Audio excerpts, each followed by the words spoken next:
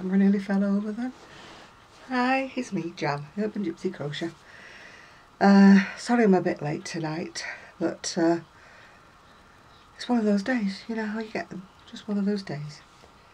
Um, I got up extremely late. I don't know whether it was because of... I actually finished the, the live video like at midnight, so I don't know why I was so tired, but I just was. Uh, anyway, here I am. Some people have been saying that they didn't get the notification that I was doing a live video. Um, if you are subscribed to me, you need to press the little bell sign at the side and that means you get notified whenever uh, there's a video going up or there's a video gone up. Uh, in actual fact, something happened last night and uh, I couldn't use the channel that I'd set up because it, it kept asking me these strange questions. And I asked um, Zoe, who is my oracle with all things, um, or whatever you want to call it, technical and she didn't really know. So hopefully we'll sort out the answer to that question. Why I couldn't use that channel and I had to start another channel up. And then I started another channel up and then my internet failed. So I had to start up yet another channel. So it was a little confusing last night, I must admit. But if you are subscribed to me, uh, please press that little bell sign because that means that you get notified, yeah? So you don't miss. Unless you forget, of course. which happens to us all, including me. I mean, I almost forgot to do the video, the video today. Uh, but I thought, oh, oh, better do it, better do it. So here I am, as I said, better late than never. Today just went past me in a blur, so I haven't done any crochet at all, or anything constructive really at all. Um, apart from having a shower. That's about the only thing that happened today. Um, the only thing I've got to show you is a crochet magazine which I don't know why I buy because it's never anything in it for me. There could be something in it for you, uh, especially if you like amigurumis and things like that. It's called Crochet Now. Excuse me, having an itch. And this is um, issue... Issue what? Issue 26. What came with it was some luxury bamboo hooks, which are very nice if you don't have any. Uh, I, I do. There's 3 millimeter, 4, 5 and 6 millimeter in there. So they will be finding their way to somebody who wants them. Uh, then this is Mr. Men and Little Miss. And it's a graph. Uh, it appears to be for a blanket. Make your very own blanket. So that is something else I won't be using. Hope you can see it all. I realised last time I made a video doing this I was over here somewhere and nobody saw it. So I'm just hoping by tilting it forward that you will see it. When it's late at night you see I have the um, the big square diffuser light on. Otherwise you wouldn't see me at all. Yeah. Right, this is the front cover of Crochet Now. That's what it looks like. So I thought, hmm, nice scarf as you you know you can't really see them because they're all wrapped up in plastic so you can't thumb through them in the uh, in the shop yeah but it's also very annoying when it means you're buying something that you don't really want yeah uh, that's a, a pattern to buy from Sirdar I don't know whether it says the number or not no stocky's telephone number it's telling me everything but No, unfortunately it doesn't say the number of the pattern. It's uh, for Sirdar Toscana, which I presume is a new yarn. Mm -hmm. That's showing a blanket, which again isn't in the book. Uh, I don't think so anyway. It's um, Wool and the Gang's pattern. And it's in cotton, so I presume it would you'd have to go to Wool and the Gang's site to see that. Let's have a look what's in here in here I should say, not in here. It's the Lancashire in me coming out, you know. Right, strawberry taffy scarf. A gradient cake is just perfect for this happy scarf, complete with a pom-pom trim. It's done in uh, Stylecraft Candy Swirl. It takes just one cake. Uh, cheesecake blanket, not quite sure why it's called a cheesecake blanket, but it's a blanket. Uh, no, it just says great texture, gorgeous colours, make this sweet blanket an eye catcher in any room. So, tiny cable stitch basket. I'm not sure how big a tiny one would be. To make a big one. I don't see what use a tiny one would be to me. It doesn't look as though it's tall enough, does it, to put your crochet hooks in or anything useful. I think I'm being picky today. I really don't like that. That's a handbag that's like a piece of cake. It says, hopefully this purse will fulfill all your cake cravings without the calories, just by carrying it around. Does not float my boat in the slightest. I do not wish to carry around a piece of cake as a handbag. That's called Abel's Pram Blanket. It looks very super, super thick. I just hope it's not too, you know, thick for a baby, otherwise I weigh it down. Um, wool couture cheeky chunky, it says here. I know it'll work up in, it says it'll work up in no time. A great way to get a quick crochet fix. I'd just be a bit worried it might be a bit heavy on the baby, I don't know. But who am I? This one's called the Cupcake Cowl. I really don't like that because of all the buttons fastened all around the neckline. Waste of buttons, isn't it really? you can tell I don't uh, get these for free, can't you? Because I, I can say what I really think about them. Chubby Bunny Cushion. Alison's cute and chubby bunny cushion is great to snuggle up with. Whoever said cushions can't have a bit of character. It's done in Sirdar colour wheel. Reminds me of a gonk, you're old enough to remember a gonk. I used to have a lovely gonk, he was in tartan, little tartan hat on. I don't know ever what happened to him, probably threw him away years ago. Pecan Pie waistcoat. This smart little waistcoat is made in a neutral colour that makes it perfect to layer up with your bright spring wardrobe. Well, might be a bright spring wardrobe if we did it in a more lively colour, mightn't it? That's one colour I am not a favourite of is beige. Don't like beige.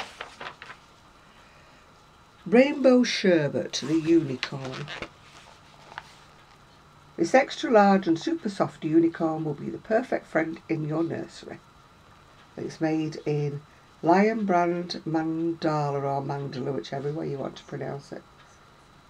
I pronounce it Mandala, but who am I?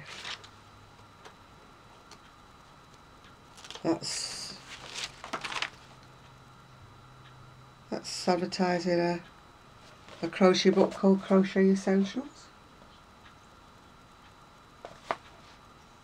I quite like the sweater, but uh, it's probably one of those books I wouldn't like anything else in, you know.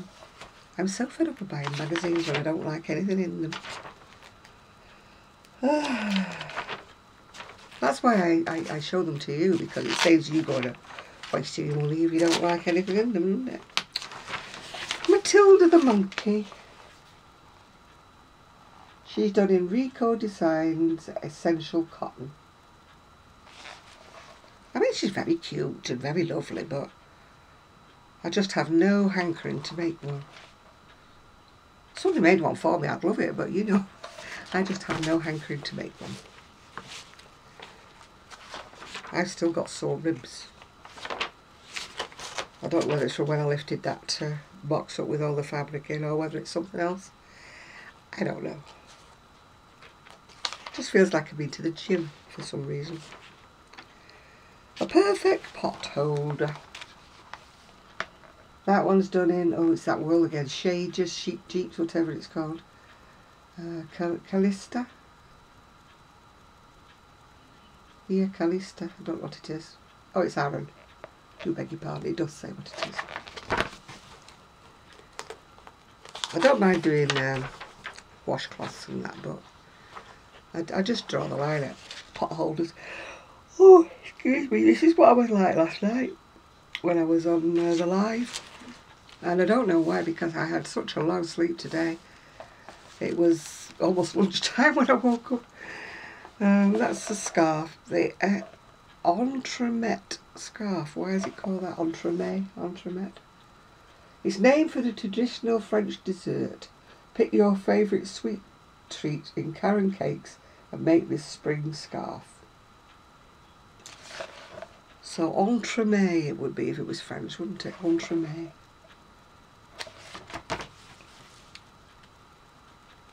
I don't know how they get the stripes though so even if they're using a cake. Yeah, mine never do. Mine never finish at the end of a row or anything like that.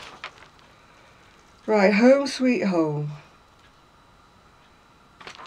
I presume this is looks like lollipops or whatever. These scrumptious mini makes look almost good enough to eat and make a tasty decoration for your home. It's done in King Cole. Oh, off I go again. Sorry I'm making you yawn. Uh, Giza cotton. I yawn when anybody else yawns. Even if they're on the TV or something. I yawn all the time.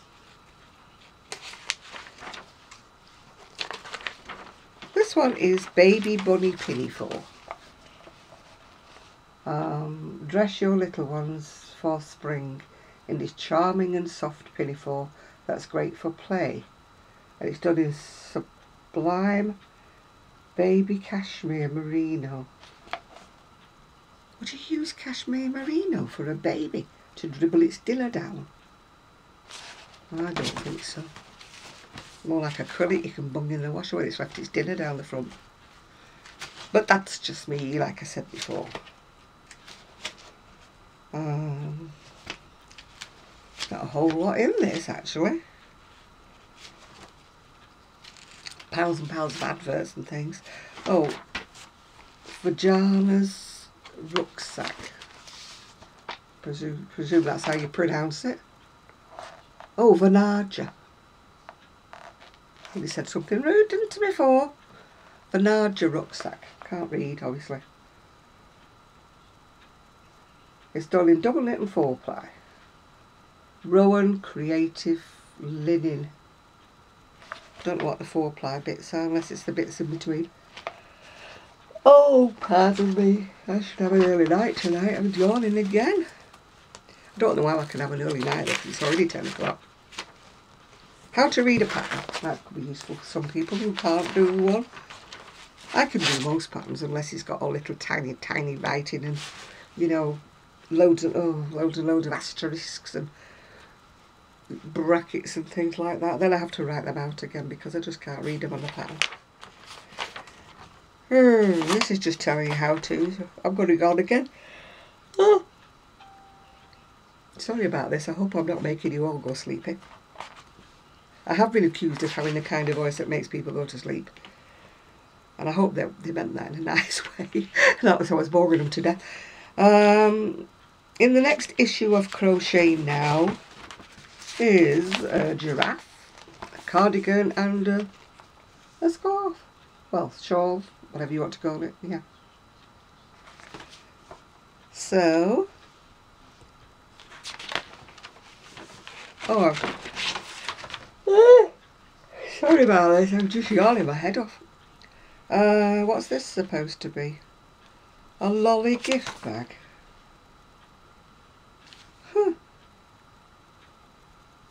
What do you want to put a lolly in a gift bag for? Unless it means you can put little sweets in it or something, yeah. Well, that's the um, wonderful crochet now that may appeal to you if you like doing toys. I don't.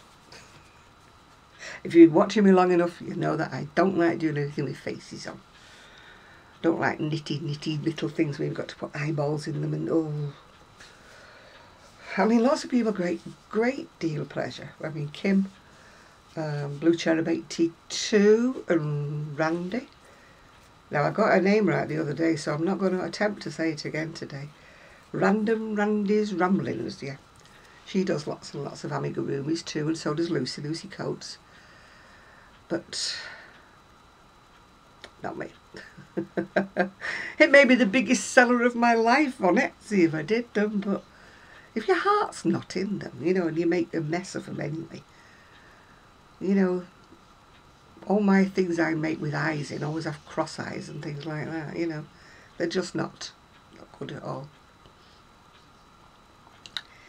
Anyway, to all of you who missed my VEDA, oh, seven was it? That was the live one, yeah. So this is VEDA 8, I think. I haven't looked at the calendar, so I don't really know. I think it's VEDA 8.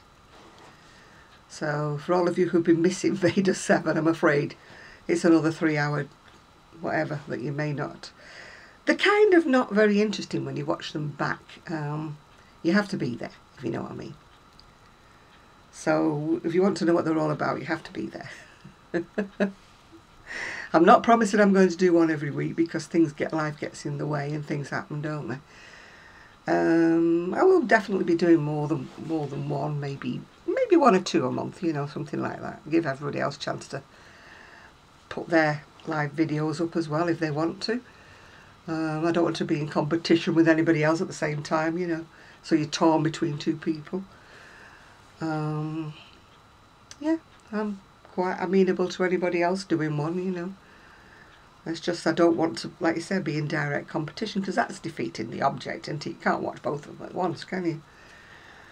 So, um, I know I've sort of taken over Sean's slot at nine o'clock on a Saturday night, but if she wants it back again, she's only got to say. And uh, I'll choose another day or whatever, yeah. Um, yeah, I've no desire to be in competition or whatever with anybody. I just want to do my own thing, if you know what I mean. So, anyway, like I say, I've not got a lot to, to tell you crochet-wise or anything like that. Um, no idea if anybody's calling this week. No idea if Sue's coming this week. Sue plays it day to day. She plays it by ear. So if I know she's coming, I'll let you know. If not, it will just be a nice surprise when you switch on one day and there she is, yeah. I'm hoping she'll be in Invader before the end of the month. so, my two nieces have come back from Madrid. Um, they had a family holiday out there because their uncle lives in Madrid and so they went with their mum and they all went for like a family get together. So she just get, let me word that she's come back so she's obviously had a nice time but she said she's very tired and her feet are hurting. That means they probably trod all around Madrid seeing the sights and everything which is what you want to do isn't it when you go somewhere you've not been to before. And um, well I think they have been before but not for a while and um, that's something I mean it's not my side of the family if you know what I mean it's my family but so we're talking about my sister-in-law and her sister and her brother yeah that that's who went kind of thing with the kids so it's not like something I would have joined in with anyway because it's not my side of the family if you know what I mean I couldn't have walked around Madrid anyway if you'd have paid me you know uh, even walking around Woolfest Oh, by the way, my tickets have come, so we know we're definitely going now. Well, if Sue can't make it, I'm definitely going by hook or by crook. I'll get there. So, that's really all I've got to say today. It's a bit of a short video, VEDA. Um, still way behind on catching up with other people's videos. Way, way, way behind. Um, I could really do them with just sitting down tomorrow and just crocheting and watching videos that I've missed out on. But it's not going to happen because I didn't do any housework today, so I've got that to catch up on first. So the sewing machine's still up. I think I told you I'm waiting for my pinking shears and my shears to arrive. Um, I'm hoping they'll arrive this week and then I can continue on with the bags. Yes, Francis, I will line the bags and I will show you one when I finished it. I bet you're all fed up waiting for these bags. There'll be an anticlimax when I finally hold one up, ta-da, and you'll be saying, oh, is that what we've been waiting for all this time? Huh. I like them, but you know, it's not everybody's cup of tea, is it? Yeah. So I'm just going to go now and relax a bit. Although, to be honest with you, I've relaxed enough this this afternoon, well, this morning in bed, didn't I? Not this afternoon, it wasn't quite that bad. But um, things have been happening. I've been catching up on different things and stuff. So I'm going to go now because I've remembered I haven't taken any of my tablets, any of my pills, any of my meds. When you consider I've got high blood pressure, well, do you know my teeth won't work? High blood pressure and diabetes, I think I should go and take them, don't you? I should be getting shouted at by my friend Christina. She'll be saying, why haven't you took them? Why haven't you took them? Because I forgot. I'm brain dead when it comes to when I'm sleepy my brain just goes ding and leaves my body. Sometimes it comes back, and sometimes it comes back in an altered form, like it's been washed. and certain things have been washed away, yes, spun dried and washed away. So sometimes whatever, you know, happens recently has just gone from my head. So if you ask me something or you tell me something and I don't answer it, it's probably because it's gone, ooh, and been washed out of my head. I know people have asked me certain things, yeah. And for the people who ask me why won't I do tutorials is I don't have the equipment and I don't have the wherewithal to buy a, a new camera that focuses brilliantly because this camera goes out of focus a lot of the time, especially when I'm taking photographs with it. B, in order to do a tutorial, you can't just pluck a pattern out of the air or whatever and do the pattern as a tutorial. You have to write and you have to ask permission of the person who made the pattern. Yeah. And the third one, the most important one, is I don't want to do them. I have no desire to make a tutorial. I wouldn't be any good at it, if you know what I mean. It would take me hours and hours and hours to do one, you know. And I just wouldn't be any good at it because I don't do well under pressure, you know, with my hands showing and you know you have to have the camera overhead and all that jazz. So you're never going to see a tutorial from me I'm very sorry. So the people who want a tutorial from me no but there are several well, hundreds thousands of absolutely marvellous videos on YouTube that have covered most things. I watch them all the time and I think gosh, haven't they got a lot of patience to do these? I mean, sometimes when they do tutorials, they're making two, three garments all the same because they're showing you different parts of it as they're going along. They show you the finished one before they start, don't they? And then they start doing another one in a different colour and then they jump to something else to show you something else and you're thinking, they have so much patience, which I don't have. I really do not have that kind of patience. Maybe if I was younger or maybe if I designed my own patterns and I wanted to promote them. But even then, if I was to do a tutorial, then nobody would buy the paper pattern, would they? You know what I'm saying? So everything would be free, free and more free. And, you know, I'm trying to make this a bit of a part-time business to give me some extra money and so with that I just crochet and hopefully somebody will buy them.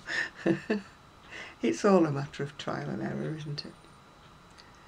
I would probably do better if I did like little toy things which I don't do. And then I could go and do craft shows and then people buy little thingamajigs they don't go to craft shows to buy anything big like a, a garment or anything like that. They just don't. They go with about £10 spare in their pocket, you know, that they want to buy something little with. They don't go with the wherewithal to buy a cardigan or anything like that. And in any case, I don't have a car anymore. And I'm not going to put upon people to take me places all the time and help me set up the stall.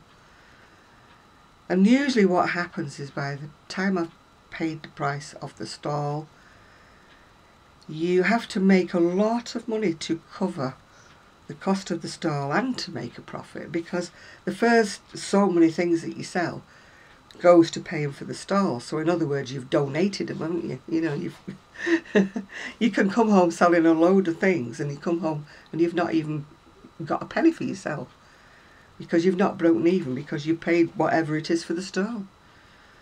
So I just got a little bit disheartened. That's why I don't do them anymore. I would like to do one now and again if I could make smaller items that would sell.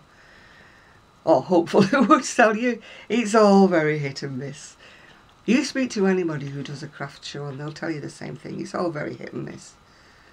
If you're lucky and you've got the right things that people want to buy, then you sell quite a lot of stuff. But if you've got the wrong things and people don't want to buy them on that day, then you come home out of pocket. And you've put yourself out with all the transport, getting people to take you there, set up the stall. I'm too lazy. I've decided. I've just taught myself right out of it now. I'm just too lazy. Yeah. What I want is a little corner in some craft shop, just like just display my things, without having to be there, of course. I want the world on a plate. That's what I want.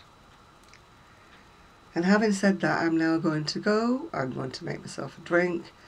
I'm going to settle down and try to do a little bit of crochet. So hopefully tomorrow I might have something to show you, even if it's just to finish off the um, the shrug thing I'm making for myself. Because while I was chatting last night live, I didn't do anything. Um, because when you're trying to do something big and you're in front of the camera and you're like heaving it about, you know, you disappear, don't you, how you go around it. So I just didn't do any crocheting while I was talking. So after saying I'm going to go for about the 14th time, I really am going to go now. So thank you for everybody who did join me live. And I will do another one although I can't promise it'll be this coming Saturday. It might be the Saturday after that depending on how I feel. I don't want to get to the stage where I'm bored with making them you know what I'm saying? I want to feel fresh and lively and want to do them. So finally I'm making my way now to the camera to turn myself off.